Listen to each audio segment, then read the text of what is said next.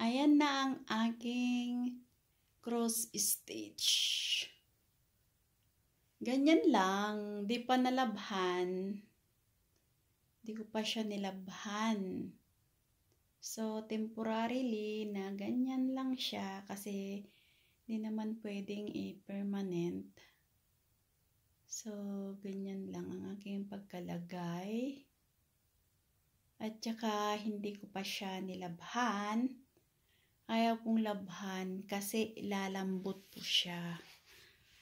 Meron akong ginawa yung sa akin na personalize uh, nalaban ko na siya pero malambot na.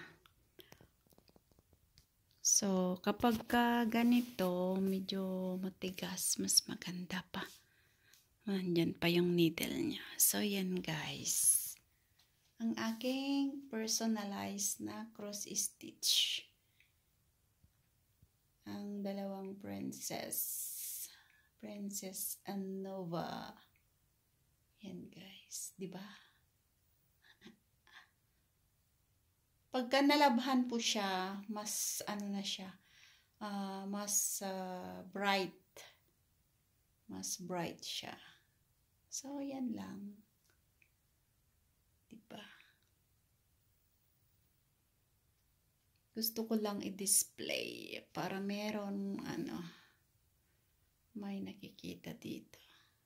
Ayan. So, ganyan.